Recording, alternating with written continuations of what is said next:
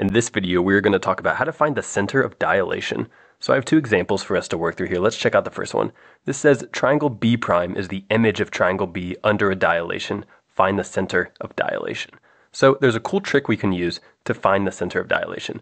All we have to do is pick some corner of one shape. So let's pick this bottom left corner, for example, and draw a line to the same corresponding corner of the other shape. So this bottom left corner of B prime. So let's go ahead and do that. Let's draw a line from this corner to this corner. We're going to extend it pretty far. So let's just keep going like this. And then we have to pick one more corner. It doesn't matter which one. So let's say this bottom right corner right here. We'll draw a line to the bottom right corner of B prime. And we'll keep extending it. And what we're going to do is just see where these lines intersect. So it looks like they intersect at this point right here. So let's see what that is. 1, 2, 3, 4, 5, 6, 7. 1, 2, 3, 4, 5, 6, 7. So this is negative 7. So it looks like the center is at the coordinate 7, comma, negative 7. Now, that's just a way to do it graphically. To verify that we got the right answer, we can use the scale factor. So remember, that's just the ratio of one side of one figure to the ratio of the same side of the other figure. So let's say from B prime to B. So for example, if we pick this bottom side of B, we can see that it has a length of 2. And if we pick the same bottom side of this larger triangle, this one has a length of 6. So 2 over 6, that can be reduced to 1 third. So the scale factor to go from B to B prime is 1 third. Or another way to think about that is that the dimensions of B prime are 1 third as large as the dimensions of B. Or another way to say that is that B is three times larger than B prime.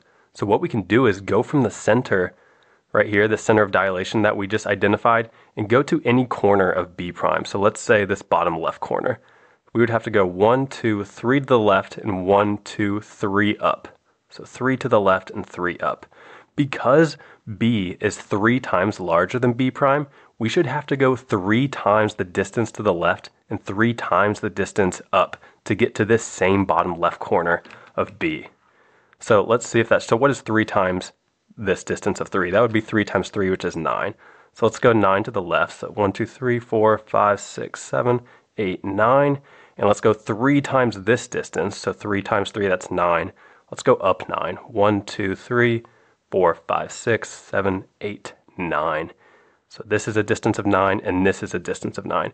And we can see that we do indeed land at this bottom left corner.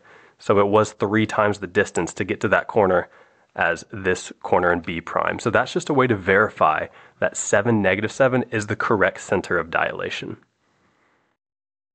All right, let's try one more example. This one says square A prime is the image of square A under a dilation. Find the center of dilation. So we're going to use the same trick that we did in the last example, where we pick any corner of one figure, so let's say this bottom left corner of A prime, and we just draw a line to the same corner of the other figure, so this bottom left corner of A. So let's do that to start. So we'll draw this line, and remember, we'll extend it pretty far. So we'll just go like that. And then we'll pick one more corner, so it doesn't matter which one we pick. So let's just say this bottom right corner of A prime and we'll draw a line to the same bottom right corner of A. And remember, we'll just keep extending the line until we actually intersect with the other line. So it looks like roughly the point of intersection is this point right here, which would be 1, 2, 1, 2, 3. So negative 2, negative 3 appears to be the center of dilation. And the way that we can double check ourselves, again, is to find the scale factor. So let's say, what's the ratio of A prime to A. So for example, if we pick this top side right here, what is the length of this side? This would be 4. And what's the length of the corresponding side in figure A? This would be 1, 2. So the scale factor is 4 over 2, which is 2. Or in other words, we have to multiply the sides of this square by 2 to get A prime. So the way that we can use that is we'll say to go from the center of dilation, which we think is negative 2, negative 3, Let's just pick any corner of A. So let's say this bottom right corner. Let's see how far we have to go. So one, two, three, four, five to the right, and one, two, three, four up. So remember, the scale factor is 2, so that means we should have to go twice the distance to the right and twice the distance up to get to this same bottom right corner of A prime. So let's see if that's true. So let's label this. This was a, a length of 5 and this was a length of 4. So we should have to go 2 times this length to the right. So 5 times 2 is 10. So let's go 5, 6, 7, 8, 9, 10. And we should have to go 2 times this distance up. So 2 times 4, that's 8. So let's go up 8. 1, 2, 3, 4, 5, 6, 7, 8. And we do land exactly right here in this bottom right corner of A prime. So that verifies that negative 2, negative 3 must be the center of dilation.